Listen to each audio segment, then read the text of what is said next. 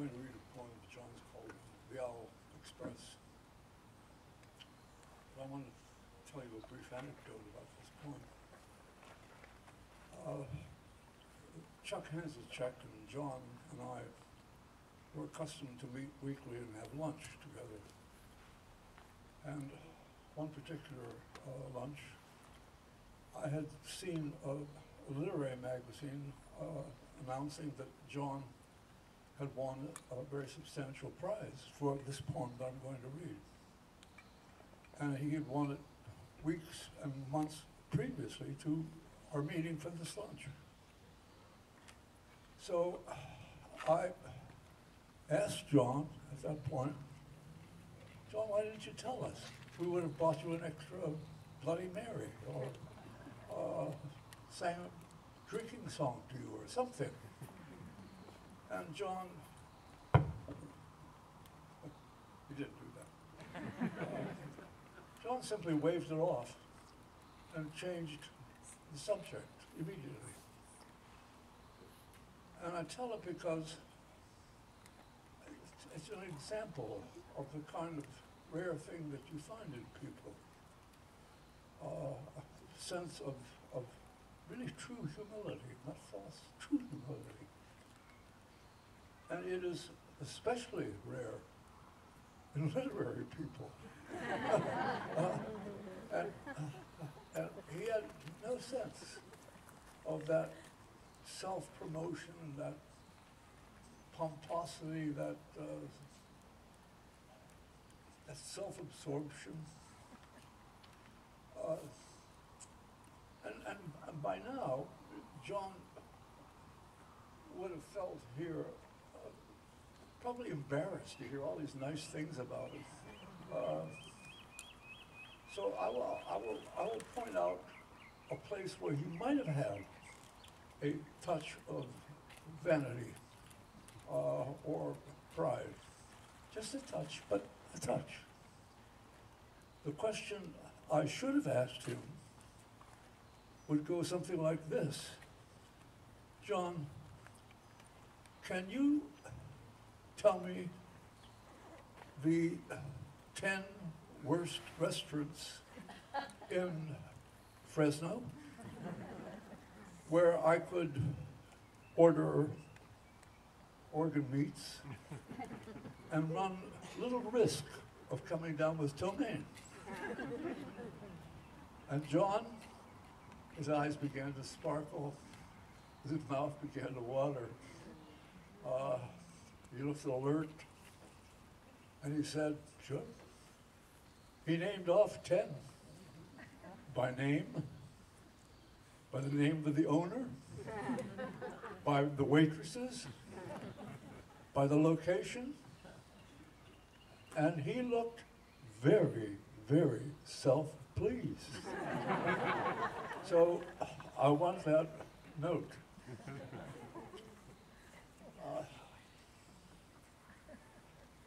I should add one more point to what I'm going to read. Uh, Connie Lake, who was supposed to read uh, this evening, uh, was unwell. Uh, she honored and loved Jon. And she asked if she could add her voice to mine when I read this poem. So I read for both of us.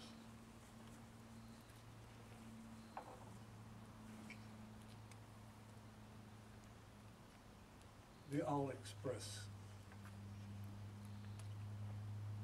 Our fingers are padded with soot and our hats don't fit.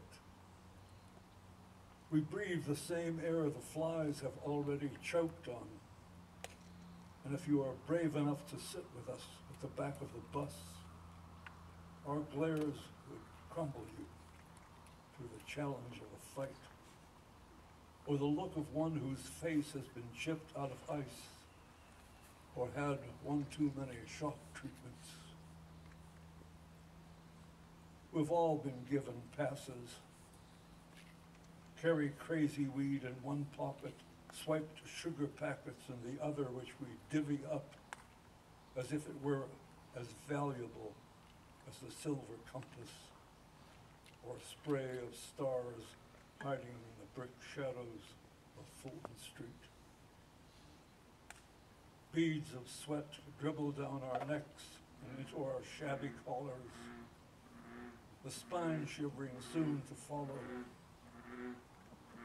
At night, we want to be left alone, to bump and glide around a town in circles, because after all, we're afraid of the unending horizons the dark and of becoming bats, a life we all came close to wanting.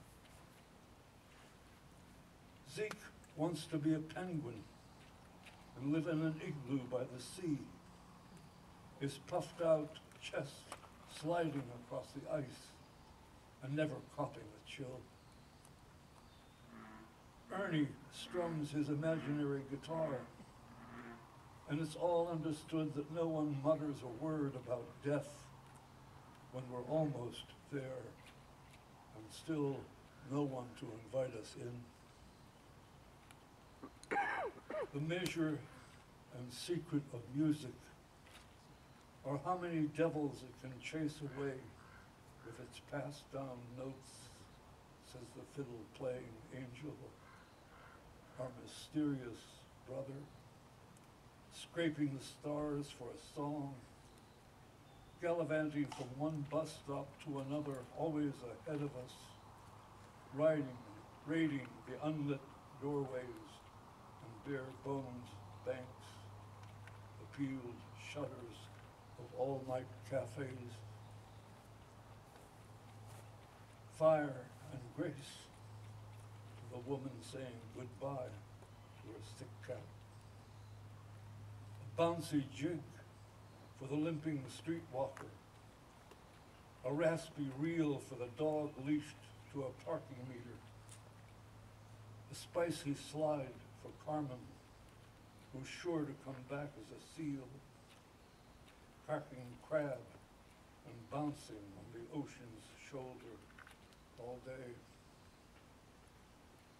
And let's not forget those crisp swings for those reading their rented fairy tales in the haunted corners of underground parking lots. Those in the windless stop at Courthouse Park among the den of bus shelters and the blossoming nests of tents.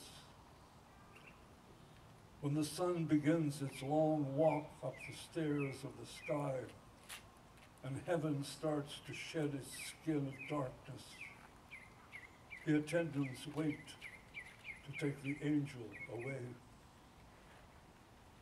They let him fiddle his way to the unknown in handcuffs that glint like glowworms banded around his wrist.